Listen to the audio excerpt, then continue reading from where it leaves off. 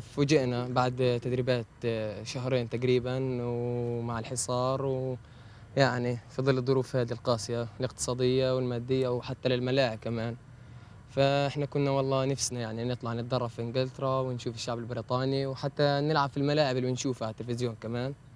آه، لكن فوجئنا طبعا من السفارة البريطانية في القدس على ما أظن إنه يعني رفضت رفض تام إنه يطلع المنتخب. إيه، بأسباب مش عارف يعني مش مقنعة بالمرة.